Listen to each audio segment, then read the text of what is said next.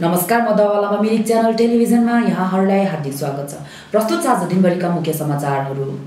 मिरिक झिल परिसरमा एकतिस अक्टोबरदेखि सम्पन्न हुने खाद्य महोत्सव सेल रोटी एवं जातीय खाद्य मुख्य आकर्षण रहने। सौरेनी रविन्द्रनाथ उच्चतर माध्यमिक विद्यालयका भूतपूर्व विद्यार्थीहरूले गरे पूर्व शिक्षक बिबी थापालाई सम्मान। अन्तमा दार्जिलिङ पहाडलाई पश्चिम बङ्गाल सरकारले नै न्याय दिने हिल टिएमसी चेयरम्यान एलबी राईको दावी। मिरिक पर्यटक केन्द्रको सहमिन्दु झिलको परिसरमा भोलि अर्थात् तिन अक्टोबरदेखि तिन दिवसीय खाद्य महोत्सवको शुभारम्भ हुने जानकारी प्राप्त भएको छ। मिरिक नगरपालिकाको आयोजनामा सम्पन्न हुने सो महोत्सव आउँदो दुई नोभेम्बरसम्म सम्पन्न हुनेछ। महोत्सवमा गोर्खा जातीय खाद्य परिकार लगायत विशेष गरी सेलरोटी मुख्य आकर्षण हुने जानकारी आयोजक समितिको पक्षमा गरिमा स्वनिर्भर समूहका अध्यक्ष निरा ढकालले दिएकी छन्। मिरिक प्रेस क्लबमा आयोजित प्रेस सम्मेलनलाई सम्बोधन गर्दै श्रीमती ढकालले यस आशयकी जानकारी दिएकी छन्। हामी गरिमा सेल्फ हेल्प ग्रुपको हामी म श्रीमती निरा ढकाल यता हुनुहुन्छ प्रणिता राई यता हुनुहुन्छ सिनोरा एल्मो र मिरिक नगरपालिकाको आयोजनामा हामीले भोलि ति भोलिदेखि तिन दिवसीय फुड फेस्टिभल आयोजना भइरहेको छ र हामीले मेन यो किन गऱ्यौँ भन्दाखेरि अब यहाँ अहिले टुरिस्टहरू सबैजना आइरहनु भएको छ र उहाँहरूलाई हामीले यहाँको हामीले मेन यहाँको हामीले यहाँको मेन हामीले फुडमाथि चाहिँ खानेकुराहरूमाथि चाहिँ उहाँहरूलाई अलिकति अब मन पराउनुहुन्छ जस्तै हामी बाहिर कलकत्ता जान्छौँ त्यहाँको माछा भात खाएर आउँछौँ।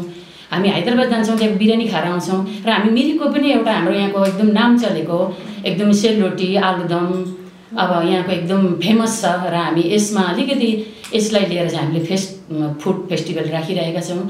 र हजुरहरू सबैजना यो दिपावलीको शुभकामना दिँदै र हजुरहरू सबैजना आएर चाहिँ हाम्रो यो फुड फेस्टिभलमा चाहिँ सहभागी भएर चाहिँ सबैजनाले सहयोग गरिदिनु हुन म आग्रह गर्दछु।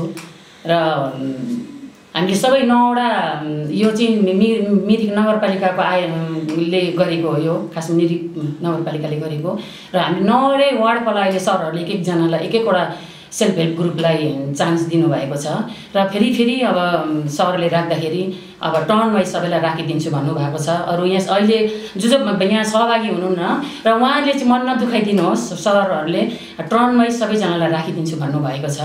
र सबैजना अब सबैजना आएर हाम्रो फुड फेस्टिभललाई चाहिँ सहयोग गरिदिनुहोस् आएर हाम्रो हाम्रो बनाएको खानाकुराहरू खाएर चाहिँ यो चाहिँ हामीले हाम्रो ठाउँलाई मात्रै नभएर टुरिस्टहरूको अहिले मे मिट एकदम सिजन छ।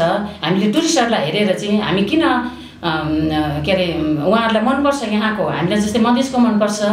र उहाँहरूलाई पनि हामीलाई यहाँ पाहाडको खानेकुरा यहाँको एकदम अर्ग्यानिक खानेकुराहरू उहाँहरूलाई एकदमै मनपर्छ। यहाँ अझ यहाँको एकदम फेमस सेलरोटी आलुदम होइन? उहाँहरूलाई एकदमै मनपर्छ।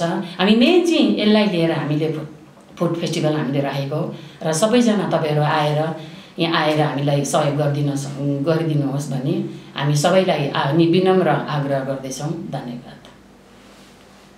सौरेनी रविन्द्रनाथ उच्चतर माध्यमिक विद्यालयमा सन् उन्नाइस सय नब्बे सालदेखि सन् उन्नाइस सय छ्यानब्बे सालसम्म आफ्नो अध्ययन सिद्ध्याएका भूतपूर्व विद्यार्थीहरूका समूह आरएनएचएस एक्स स्टुडेन्ट एसोसिएसनले पूर्व शिक्षक बिबी थापा मर्मा निवासीलाई उहाँकै वासस्थानमा गई सम्मान दिएका छन्।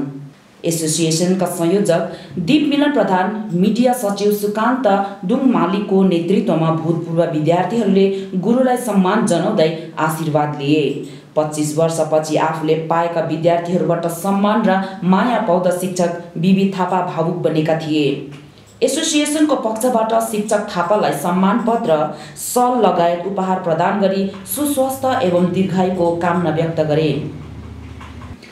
दार्जिलिङ पहाडको स्थायी राजनैतिक समाधानको निम्ति पहाडको सरोकारी दल भारतीय गोर्खा प्रजातान्त्रिक मोर्चा र गोजामुले आफ्नो अडान स्पष्ट पारेर राज्य सरकारको समक्ष राख्ने सुझाव हिल तृणमूल काङ्ग्रेसका अध्यक्ष एलबी राईले दिएका छन्। दार्जिलिङ पहाडमा शान्ति विकासको पक्षमा रहेका राज्य सरकारले पहाडको हित चिताइरहेको अवस्थामा सरोकारी राजनैतिक दलहरूले स्थायी राजनैतिक समाधानको पक्षमा राय स्पष्ट पार्न सके असल हुने धारणा व्यक्त गर्दै राईले दार्जिलिङ पहाडलाई राज्यमा सत्तासीन तृणमूल सरकारले नै न्याय दिने दावी गरेका छन्। पश्चिम बङ्गाल सरकार मात्र नभएर दार्जिलिङ पार्टीको निम्ति चाहिँ विजय पश्चिम बङ्गाल सरकार चाहिँ महत्त्वपूर्ण कुरो एकदमै महत्त्वपूर्ण कुरो छ हाम्रो लागि इम्पोर्टेन्ट छ। र उहाँले मतलब हामीले मैले भनेले हामीले बङ्गालले तिमीले यो ठाउँमा यो यो गर त भनेको थियो नि। म तँलाई यो दिन्छु यसमा बस्छ भने तिमीले समाधान ल्याऊ म गरिदिन्छु भनेको छ। त्यसो भने केही दिनभित्रमै दार्जिलिङ पाहाडको मानिसहरूको आङमा घाम लाग्ने र नयाँ कुरा उदय हुने। अब म आशा राख्छु एकदम मतलब टिएमसी चेयरम्यानको उसमा म आशा राख्छु। हाम्रो जो सहयोगी पार्टीहरू छ उहाँहरूको कसलाई जिम्मेवारी दिनुभएको छ उहाँहरूले एउटा राम्रोसँग खेसरा रेडी गरेर सिएमसँग प्लेस गरिदिने उहाँलाई म अनुरोध गर्छु र मैले भने हाम्रो तर्फबाट जे सहयोग गर्नुहुन्छ हामी गर्नु लागि तयारी छौँ। अन्तमा मुख्य समाचार पुनः एकचोटि।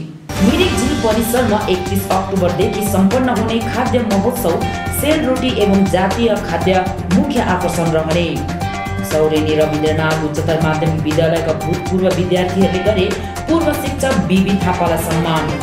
अन्तमा दार्जिलिङ पहाडलाई पश्चिम बङ्गाल सरकारले नै न्याय दिने हिल टिएमसी चेयरम्यान एलबी राईको दावी।